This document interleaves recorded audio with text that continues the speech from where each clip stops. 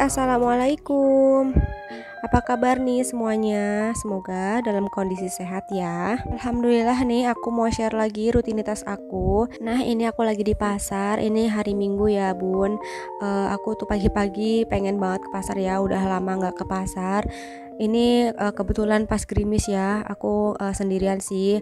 Pak Su sama Hanan masih tidur di rumah. Jadi aku jalan kaki ini aku mau beli ikan lele jadi ikan lelenya aku beli setengah kilo aja.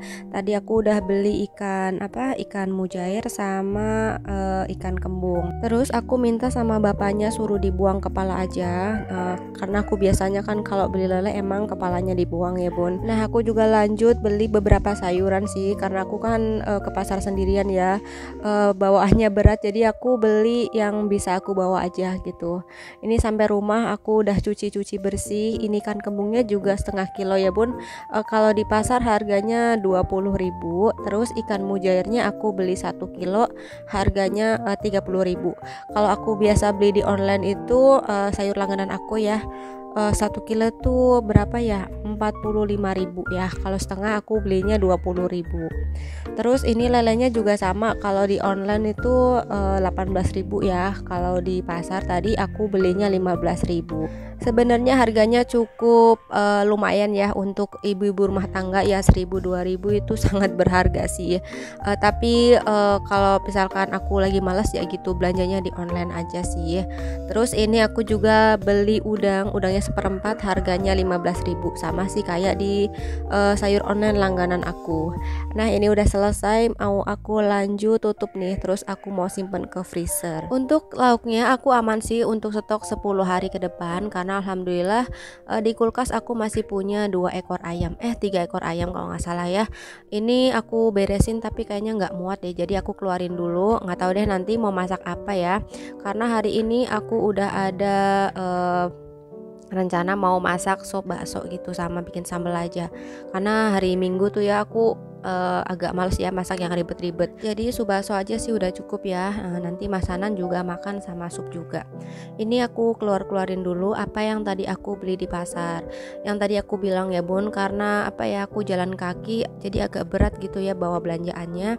Jadi aku kira-kira aja deh ya belanjanya yang bisa aku tenteng gitu. Begini nih kalau misalkan ibu rumah tangga tuh nggak bisa bawa motor sendiri ya kayak aku ya bun.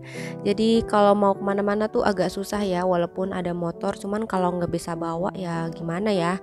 E, dulu aku bisa sih bawa motor bisa ya sampai boncengin mama aku ke jalan raya bisa.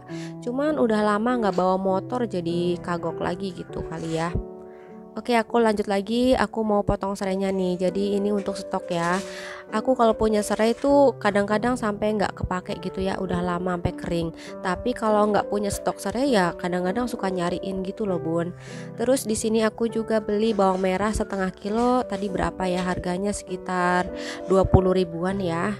Terus aku juga beli bawang putih cutting setengah kilo juga eh, sekitar 20 ribu juga ya. Nanti kalau udah sempet aku baru deh kupas-kupasin bawangnya. Jadi ini sementara taruh di sini dulu. Jadi kalau udah dikupasin gampang ya pas mau pakai bawangnya udah dikupas gitu. Ini lanjut lagi aku uh, mau uh, simpan sayurannya ya. Aku tatakin dulu pakai tisu. Ini ada sawi putih terus ini terong sama wortelnya tuh sisa sayuran di kulkas cuman ada itu aja ya bun.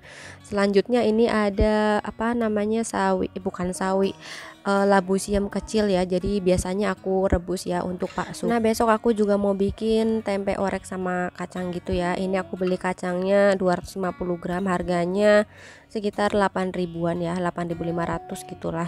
Ini karena masaknya besok udahlah simpan-simpan dulu aja. Nah udah selesai food prep ini tuh sekitar jam 10 pagi ya bun. Jadi tadi pagi tuh aku ke pasar sekitar jam setengah 8 karena pagi-pagi tuh hujan deres banget ya. Jadi aku tuh nunggu hujannya agak reda gitu. Oke aku mau langsung aja masak supnya Tadi aku juga beli sayur sop yang udah diracik gitu ya. Jadi uh, yang satu bungkus 5000 gitu loh.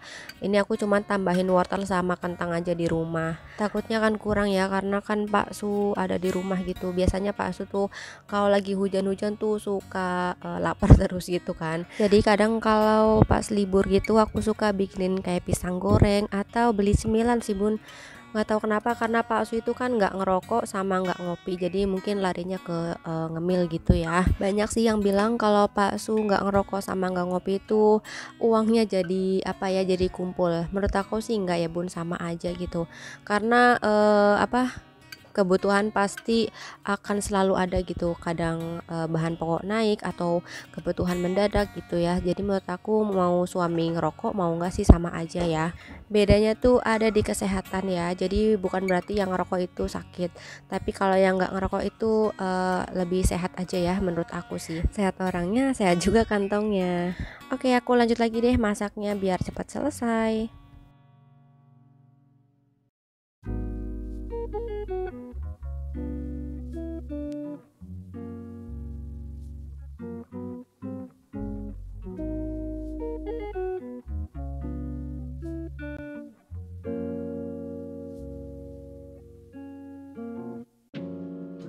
Oh ya aku lupa. Ini ada potongan sayap ya. Jadi kemarin kan bikin chicken wings gitu kan. Jadi ujung sayapnya tuh aku potong. Jadi aku bikin kaldu aja deh buat sup. Aku bikinnya simple aja sih bun. Jadi sayurannya aku uh, rebus dulu gitu kan. Nanti kalau udah uh, matang gitu baru aku bumbuin. Ini biasanya aku pakai 8 biji deh. Kayaknya pancinya nggak muat. Terus aku potong bawang merah juga untuk digoreng ya. Jadi nanti untuk taburan si supnya gitu aku sebenarnya lagi pengen nih bun beli panci yang agak besar ya. Jadi kalau masak yang kuah-kuah gitu uh, bisa bikin banyak. Ini tuh aku punya pancinya cuma satu ini aja ya. Kalau panci yang khusus buat sup itu aku belum ada ya. Jadi ini tuh masih uh, kadang aku pakai buat goreng kadang pakai buat numis gitu ya. Dia pokoknya serbaguna aja lah. Jadi aku pengen uh, beli satu lagi panci yang khusus buat sup gitu. Sebenarnya lebih ke kebutuhan juga sih ya bun. Uh, karena kalau panci-panci yang besar itu kalau misalkan ada saudara atau ada orang atau ada tamu gitu kan uh, mau masak banyak tuh nggak bingung lagi gitu kan. Nah ini supnya aku cuman seasoning sama masako uh, garam sama gula aja sih. Terus sama kaldu jamur sedikit terus ini aku masukin tomat sama daun bawang seledrinya udah dia tinggal diaduk terus tinggal tunggu sebentar oh, udah matang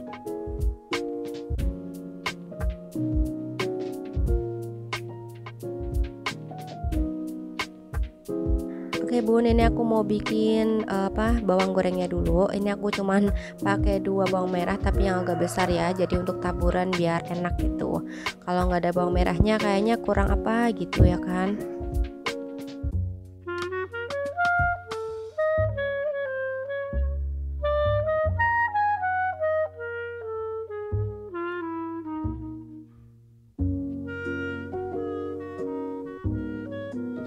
Menu yang terakhir ini aku mau bikin sambal ya bun. Ini aku goreng-goreng dulu bawang sama cabai terus tomat gitu.